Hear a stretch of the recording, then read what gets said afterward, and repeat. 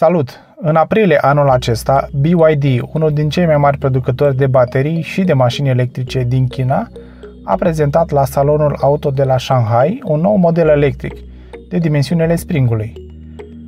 La acel moment nu eram foarte interesat pentru că este ceva obișnuit ca în China să apară extrem de multe modele electrice de toate dimensiunile. Dar există zvonuri recente că această mașină va ajunge și în Europa – Mașina se numește Seagull, adică pescărușul, și este modelul cel mai mic din tripleta electrică ce poartă nume oceanice, celelalte două surori mai mari numindu-se Foca și Delfinul.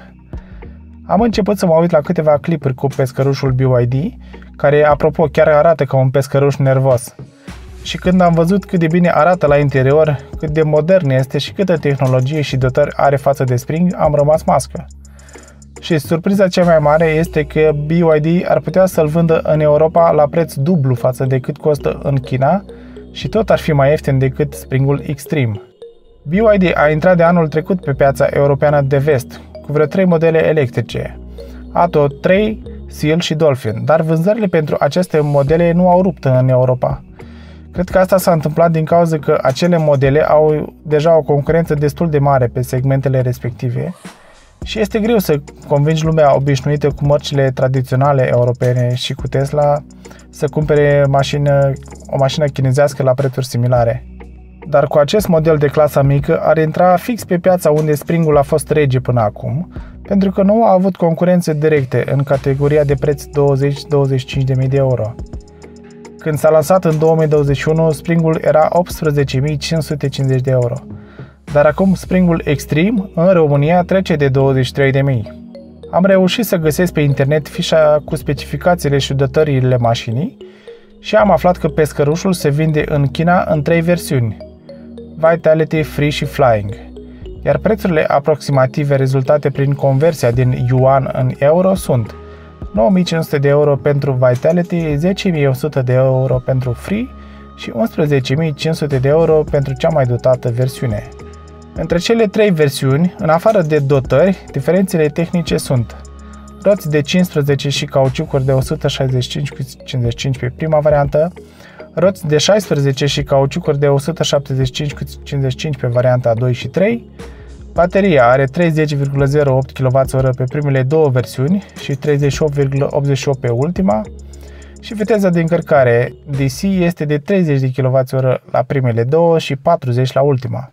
În continuare, hai să comparăm caracteristicile tehnice ale celei mai dotate versiuni a pescărâșului cu Springul Extreme, ca să vedem ce pot oferi chinezii de 11.500 de euro față de cei peste 23.000 cât cere Dacia pe Spring în România. Ca dimensiuni, pescărușul este cu 5 cm mai lung, 5 cm mai lat și aproape 2,5 cm mai înalt. Greutatea este cu 205 kg mai mare și asta se datorează în principal bateriei, care are în primul rând altă chimie, dar și o altă capacitate. Ampatamentul este cu aproape 8 cm mai mare, deci ar trebui să fie mai mult spațiu la picioare. Pentru dimensiunea bagajului am găsit doar valoarea cu bancheta rabatată, dar din nou pescărușul bate springul cu peste 300 de litri în plus. Roțile pescărușului sunt din aliaj de 16 inch, iar mașina are cauciucuri de 175 cu 55, în timp ce springul vine cu jante de tablă de 14 inch și cauciucuri mult mai mici, de 165 cu 70. Motorul are o putere de 55 de kW, adică 75 de cai, în timp ce Spring Extreme are 48 de kW, adică 65 de cai. Bateria pescărușului folosește chimia LFP și are o capacitate de 38,88 de kWh. Nu știu dacă aceasta este capacitatea netă sau brută, dar oricum este cu cel puțin 10 kWh mai mare decât cei 26,8 capacitate netă ai springului. Iar 10 kWh înseamnă între 50 și 100 de km de autonomie în plus. Încărcarea pe curent alternativ este aceeași, de 6,6 kW, dar cea pe curent continuu este puțin mai mare la BYD, de 40 de kW față de 30 pe Spring. Garanția, cel puțin în China, este pe viață la sistemul electric, dar nu știu dacă asta include și bateria. În rest, mașina are garanție 6 ani sau 150.000 de kilometri, în timp ce Springul are 8 ani sau 120.000 de km pentru baterie și 3 ani sau 100.000 de km pentru restul mașinii.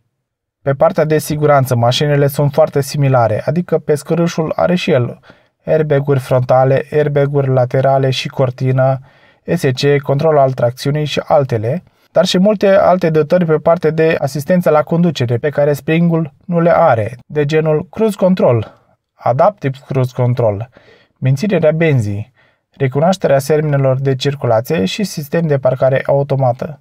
Și un lucru important care ajută la stabilitatea mașinii în curbe este bara de torsiune, care nu lipsește la BYD, dar lipsește la Spring. Hai să trecem rapid printr-o listă de alte dotări de secol 21 care se găsesc pe BYD, dar care lipsesc sau sunt net inferioare pe Spring. Și avem Keyless Entry, Keyless Start, cheie NFC, cheie Bluetooth, în timp ce la Spring trebuie să dai la automat cu cheia manuală. Lista continuă cu ajustarea volanului pe două axe, în timp ce Springul are volanul fix. Scaunul șoferului este ajustabil electric pe șase direcții, adică inclusiv pe înălțime, ceea ce Springul nu are și oricum sistemul pe Spring nu este electric. Pe partea de bord și multimedia, pescărușul are în plus ecran de bord de 7 inch, în timp ce Springul are ceva mult mai mic și rudimentar. Sistem multimedia central de 10,1 inch, în timp ce Springul vine cu media nav de 7 inch. Pescărușul are de asemenea 4 boxe, deci cu două mai mult decât Springul. Pe partea de lumini, pescărușul are LED pe DRL fază scurtă și fază lungă, în timp ce Springul are LED doar pe DRL, iar restul farului este cu becuri cu halogen. Alte dotări importante, control al tuturor celor patru geamuri electrice pe ușa șoferului, iar geamurile față sunt și cu impuls. La Spring nu poți controla geamurile spate din față, iar butoanele pentru geamurile față sunt pe bord. Oglinzi încălzite, în timp ce la Spring sunt doar acționate electric, dar fără încălzire. Oglindă cu iluminare în parasolar, atât pentru șofer cât și pentru pasager. Springul avea doar oglindă fără iluminare la pasager, dar au scos-o și pe aceasta pe extrem. Cotieră din fabrică la BYD, iar pe Spring doar aftermarket. O funcție ultra mega utilă, care din păcate nu pot confirma 100% în acest moment pentru pescăruși, este Vehicle to Load, adică poți scoate energie din baterie prin intermediul portului Type 2, adică poți alimenta orice consumator AC cu până la 3,3 kW, inclusiv să încarci altă mașină. Și cireașa de pe tort, mașina este prevăzută și cu update-uri over the air, precum face Tesla și doar câțiva alți producători. În concluzie, dacă această mașină va veni în Europa în viitorul apropiat, Dacia și alți producători ar trebui să-și facă griji mari iar Spring 2 anunțat de Dacia pentru 2024 va trebui să fie cel puțin la același nivel cu pescărușul BYD.